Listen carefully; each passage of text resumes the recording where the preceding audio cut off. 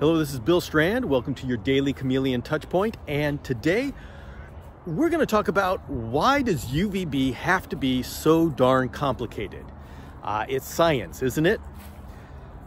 Unfortunately, the whole subject has been politicized and some would even argue weaponized. And so it's, uh, it's very difficult to get uh, good UVB information. Uh, but that's what we're going to talk about today and uh, we'll see what we can do. Now, the first thing we want to do to understand this is understand how we measure UVB in the first place. Uh, we use the UV index scale, and that's a uh, sometimes called UVI, that's the abbreviation. And this is used by the World Health Organization to measure how long it's going to take for us to get sunburn. And so that they give advisories as to you can only stand outside for 10 minutes before you're going to start getting a sunburn. And this is relevant to us chameleon keepers because the same wavelengths of UVB that give us sunburns also allow us to synthesize vitamin D3, which we need to be able to absorb calcium and live, essentially. So th this really is an important subject to learn about. The next thing we have to look into is how much UVB does a chameleon need? What intensity, what UV index should we be giving our chameleon at the basking branch uh, so they have access to it. And this takes a little bit of effort, uh, but we're lucky because that effort has been put in. Uh, you can go in my podcasts, and I, I can link them below. Uh, we have discovered that UV index 3 at a basking branch is sufficient for veiled chameleons and panther chameleons to create uh, fully calcified clutches of eggs without dietary D3. So we know that the amount of UVB that they're getting allows them to get enough calcium to do the one thing in a chameleon's life that takes the most calcium, and that's a female laying eggs. And so uh, those tests have been done. Now, it doesn't mean that UV index 3 is the only answer or the best answer. It just means that's the only value we have right now that has been proven effective. Now, this would mean that there's no reason to go beyond UV index 3, at least an observable reason. I did a test where I did a chameleons at a UV index 3 and then a UV index 6, and I noticed no difference in growth rate or calcification of eggs. And so I concluded there's no observed benefit.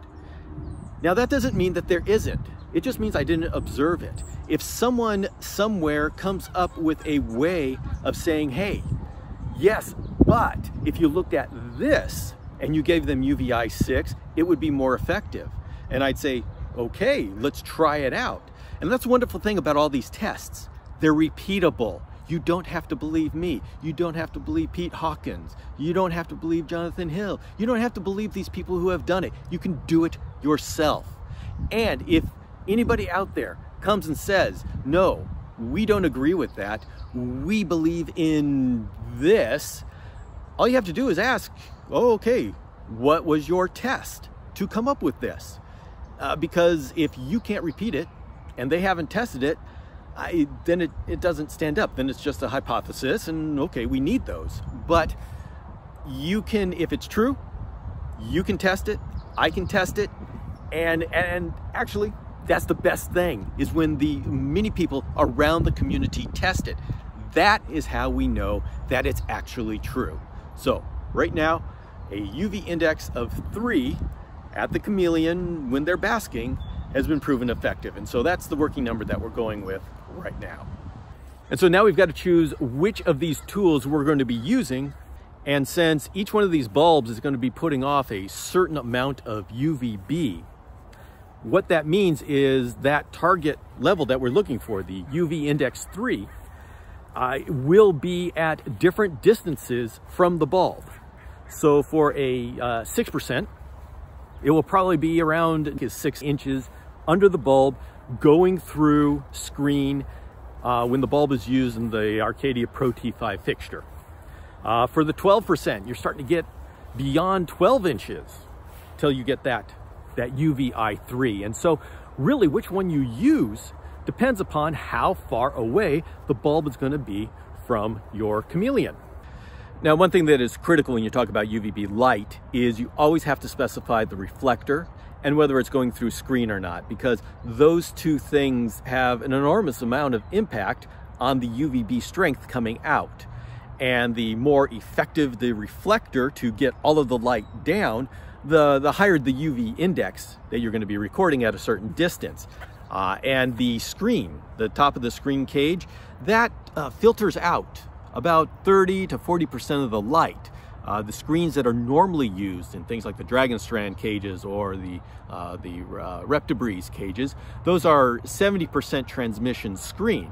And so you're filtering out at least 30% and which paint is used is uh, will have some effect and, and other things have some effect, but those, those are good working numbers.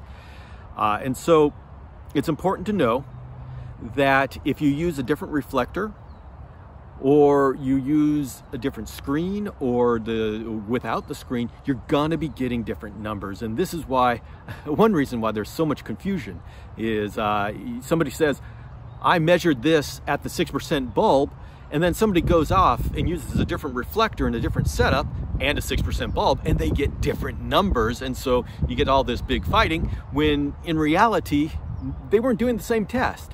And so this is why I've had to focus on one bulb.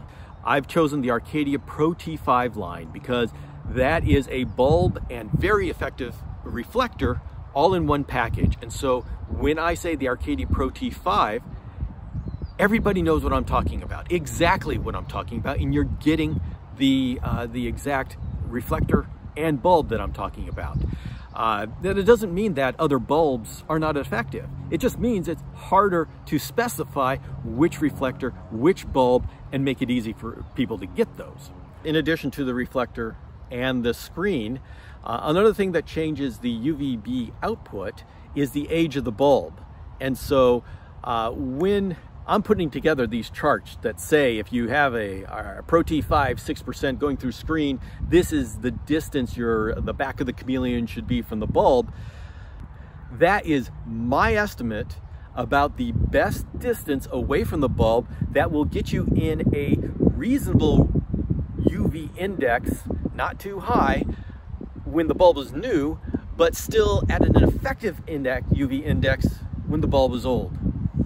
So the absolute best way to uh, determine where to place the basking branch in distance away from your UVB bulb is to get a Solarmeter 6.5. That's the industry standard uh, UVB meter, which will give you a UV index reading and you'll, you'll be spot on uh, at whatever age your bulb is because the bulbs change how much UVB energy comes out depending on age. Uh, when they first turn on, very high levels. And then they after about 100 hours they ease off and and they plateau a little bit but they start going down.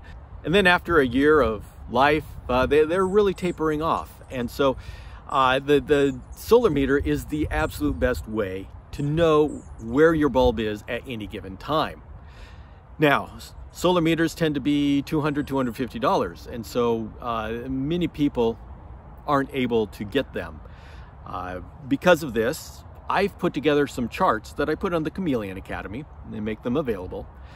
And those charts are actually have been difficult to put together. It took me two years to gather all the information, compile it, and try to figure out the best numbers to give. Because if I'm telling somebody where to place this bulb, they're going to keep it that way for the entire year of the bulb. I can't tell them to uh, raise and lower it, uh, keep raising and lowering it over the entire life. And so uh, what I've had to do is pick the best distance that is within reasonable limits, even though they're very high, uh, when the bulb is new, but still within effective limits at the, uh, at the end of the bulb's life. And so uh, that, that was my estimate. And I estimated if you've got a Arcadia 6% Pro T5 going through screen and a basking branch uh, set up so the chameleon's back is six inches uh, below the bulb, you are going to have a, uh, a reasonable range over that year of bulb's life. It's not going to be so blustering high at the beginning and it's not going to be ineffective at the end. And so you can use charts. Just know that it's the meter that would be the absolute best option. So the best thing that anybody watching this can do is to get a basic understanding of UVB and a comfort in talking about it in terms of UV index.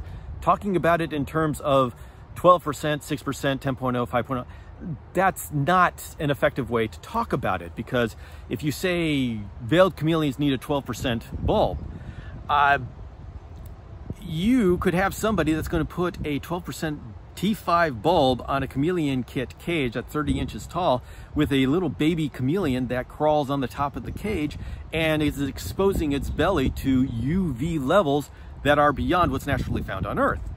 Uh, and so that's not healthy.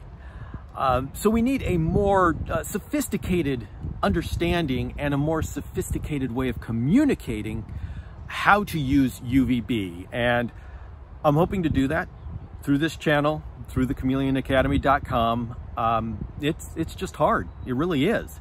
Uh, it's no easy soundbite that gives you an effective amount of information as to how to use UVB.